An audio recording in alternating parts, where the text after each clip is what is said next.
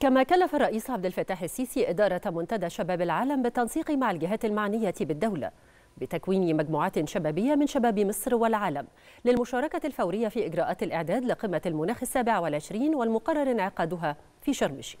كما كلف الرئيس السيسي رئاسة مجلس الوزراء بإعداد تصور شامل مع شركاء التنمية لتحقيق امتداد إفريقي للمبادرات المتحققة في مصر وذلك في إطار المسؤولية الإقليمية لمصر في محيطها الإقليمي.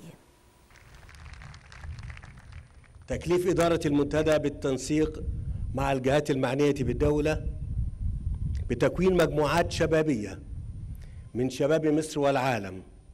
للمشاركة الفورية في إجراءات الإعداد لقمة المناخ السابعة والعشرين المقرر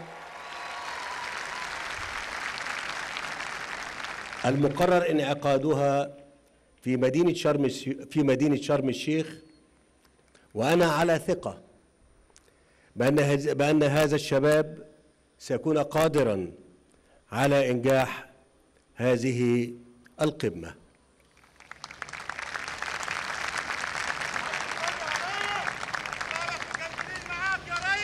تكليف رئاسة مجلس الوزراء بإعداد تصور شامل مع شركاء التنمية لتحقيق امتداد إفريقي للمبادرات التنموية المتحققة في مصر وذلك في إطار المسؤولية الإقليمية للدولة المصرية تجاه محيطها الإقليمي.